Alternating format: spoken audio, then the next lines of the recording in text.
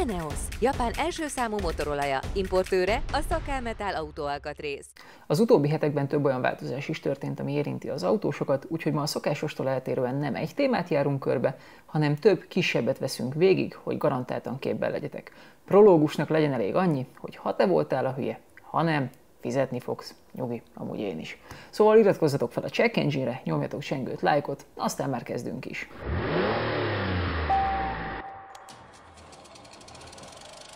Az első örömteli hír, drágulnak az autópálya matricák, az idei augusztus infláció mértékének megfelelően drágulhatnak a pályamatricák jövőre, válaszolta az Építési és Közlekedési Minisztérium a totalcar.hu megkeresésére. A mostani kilátások szerint 15%-os inflációval számolhatunk a hónapra, vagyis egy éves országos személygépjármű matrica 56 ezer forintnál is többe kerülhet.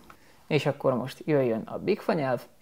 A használati időtartamú alapú e-matricás rendszerben 2024. január 1-től a használati díj megfizetése ellenében használható autópályákról, autóutakról, főutakról és azok díjáról szóló 45 per 2020 1128 ITM rendeletben foglaltaknak megfelelően 2023. augusztusára irányadó, valamint a Központi Statisztikai Hivatal által közzétett 2022. augusztusához viszonyított fogyasztói árindex mértékével emelkedik, majd egységesen minden matrica ára. Na most, két dolog merül fel bennem. Az egyik, hogy én abból érek, hogy szövegeket értelmezek, de azért ezt még nekem is el kellett olvasni párszor. A másik pedig az, hogy urá! Na de, lépjünk tovább, ez akkor is ennyi lesz, hogyha dühöngünk rajta, meg akkor is, hogyha nem. Az biztos, hogy a költségvetési tervezet 100 milliárdos pluszbevétellel számol a stráda használati díjakból.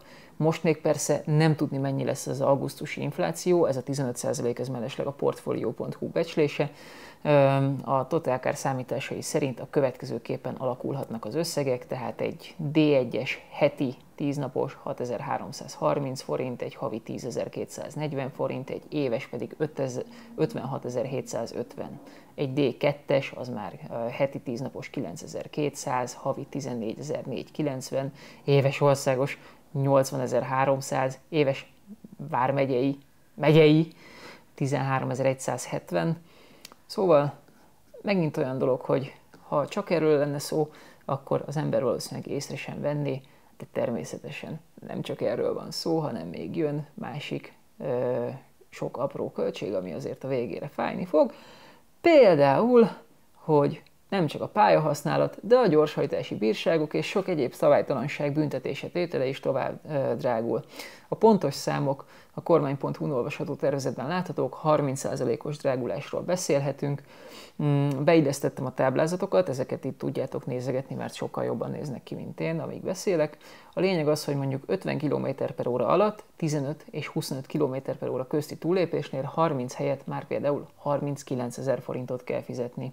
25 és 35 közti túllépésnél 45-ről 58.500-ra emelkedik, 35 és 45 között szalad meg, akkor 60-ról 78.000-re emelkedik, 75 km per óra felett 300-ról 390 ezerre nő a limit, 50 és 100 között amúgy ugyanez a helyzet, csak más tartományokban, és 100 km per óra felett is hasonló mértékű drágulás van, csak ott is ugye más tartományokban nem csak a gyorshajtások szankciója változik, például, hogyha valaki ezentúl autóval behajt fokozottan védett természetvédelmi területre, akkor ezentúl 390 ezerre nő a bírság, de a kötelező haladási irány megszegése is 50-ről 65 ezer forintra emelkedik.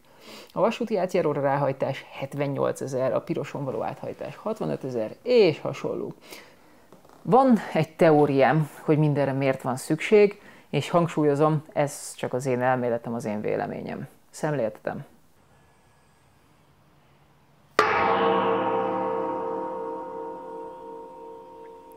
Így kong az államkassa. A közigazgatási bírság az eddig sem különösebben tántorította el a gyorshajtókat, hiszen a mérések nagy ráhagyással dolgoznak, az emberek jellemzően tudják, hogy hol, hol vannak a mérési pontok, hol vannak a telepített trafipaxok. Ez egyszerűen látszik, hogy ettől nem lett kevesebb a gyorshajtó. Elég jól számolható fix bevétel amúgy az állambácsinak, milliárdok folynak be belőle, és tényleg az a baj, hogy a gyorshajtók becsengetik a baksist az államnak, amiért cserébe kapnak egy olyan jóváhagyást, és mehet tovább a rácse. Arról nem beszélve, hogy a 30-ról 39 ezerre emelt bírság a bentley nagyvállalkozót mondjuk nem feltétlenül fogja visszafogni, mert neki ez egy kerekítési hibahatár.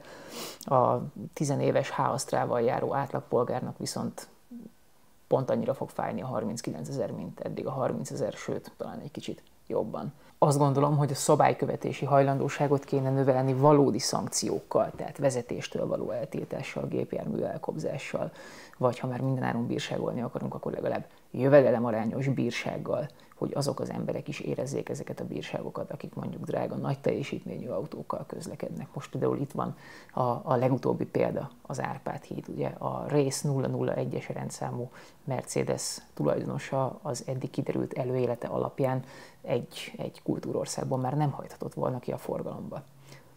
Na de, nem kevésbé örömteli vizekre evezve, vadat se nagyon gázoljatok, ugye eddig sem volt egy különösebben mókás dolog, most a DAS jogvédelmi biztosító hívta fel a figyelmet arra, hogy ugye eddig, hogyha valaki elütött egy vadat, akkor ha csak nem volt kint a vadveszélyre figyelmeztető tábla, néhány különleges helyzettől eltekintve az ember joggal számíthatott az adott vadásztársaságtól kártérítésre. Na most 2023. július 1-től viszont azt mondja a közlöny, hogy, és megint jöhet egy csodás bigfanyelv, nem minősül vadászatra jogosult felróható magatartásnak, vagy a tevékenység körében előálló rendellenességnek, ha a vad az életmódjából szokásos táplálkozási, szaporodási viselkedéséből következő helyváltoztatása miatt jelenik meg a lakott területen kívül közúton, autóúton, autópályán vagy a település belterületén, kivéve, ha a vad megjelenése a vadászatra jogosult tevékenységgel áll okozati összefüggésben.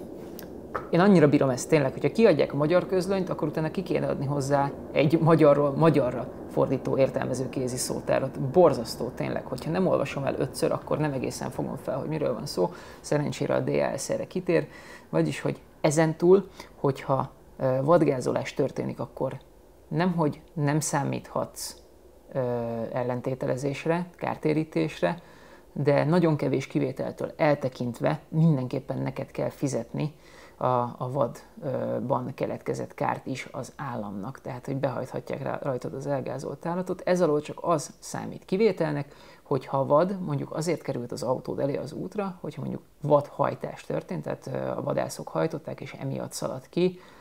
Ugye korábban tényleg az volt a helyzet, hogyha kint volt a figyelmeztető tábla, akkor igen, akkor te voltál a hibás, minden más esetben élhettél, élhettél kárigényel. Most ezen túl megváltozik, és tényleg a, hajt, a hajtásból fakadó vadgázolástól eltekintve minden esetben neked kell fizetni. Felhívtam egy hivatásos vadászt, Suba Pétert, aki azt mondta, hogy szerinte erre a változtatásra azért volt szükség, mert a vad alapvetően az állami, amíg el nem pusztul, utána viszont a vadásztársaságé.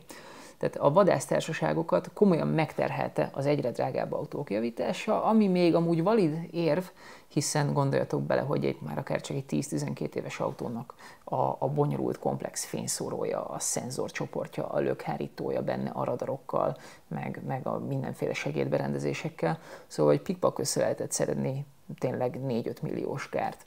Szóval a vadásztársaságokat komolyan megterhelte ezeknek a fizetése, és a vadkárok száma is megnőtt, hiszen ahogy nőnek a városok, ugye dagad az agglomeráció, vágják ki az erdőket, egyre kevesebb élettere van a vadaknak, így egyre gyakoribb a találkozás, tehát nyilván mindenki tud olyan sztorit mesélni, hogy Bambi reggel ott állt a kertben, főleg, hogyha mondjuk így a Piris környékén lakik. Én már találkoztam ilyennel nem egyszer. És az is egy nagyon érdekes kérdés, hogy eddig, hogyha az autópályán kerítés volt, és bejutott a vad, akkor is a vadásztársaságot vették elő, míg például más országokban ilyenkor az autópálya mérnökség a felelős, hiszen az autópályán azért mehetünk 130-al, mert ez kvázi egy védett út, joggal nem számít a vadra. Na most tényleg hangsúlyozom, az új szabály alól csak az képez kivételt, hogyha hajtás van. Súva Péter nekem erre azt mondta, hogy ilyenkor, hogyha vadgázolás történik hajtás során, akkor meg kell állni és fel kell venni a kapcsolatot a hajtásban résztvevő vadászokkal, és akkor onnan lehet elindítani az ügyintézést. De még azt is hozzátette, hogy amúgy a, a vadhajtást jellemzően előjelzik táblával. Na most az már megint csak az én véleményem, hogy nem egészen tudjuk, hogy mi áll ennek a hátterében. Még egyszer mondom, amit itt a hivatásos vadász elmondott, az ö, teljesen megáll, hiszen ezeket a folyamatokat, az autók drágulását és a vadok életterének csökkenését ezt látjuk, értjük, viszont ö, nem vagyok benne biztos, hogy a felelősség ilyen mértékű áttolása az autósokra az jó megoldás lenne. Hiszen például már én is találkoztam többször olyannal, hogy a vad nem, nem, neki, nem kiugrott az autó elé, hanem az autó normális tempóval haladt, akár városon belül is, és a vad oldalról neki szaladt. Na most ilyenkor mi a teendő, ugye? Ki a felelős? Rosszkor voltam, rossz helyen, tehát fizessek? Érdekes kérdéshez, és biztos vagyok benne, hogy még majd foglalkozni fogunk vele, de ebbe a kis összefoglalóban most hirtelen ennyi fért. Nem tudok nagyon mást mondani, ne hajtsatok gyorsan. Éjszaka, főleg párzás idején nagyon figyeljetek oda a villódzó szemekre, valamint, hogyha pályamatricát vesztek, és nagyobb szám van rajta, mint tavaly ilyenkor, akkor azon se lepődjetek meg.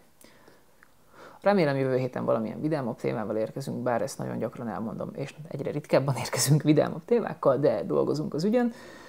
Iratkozzatok fel, nyomjatok csengőt, lájkot, és hamarosan találkozunk.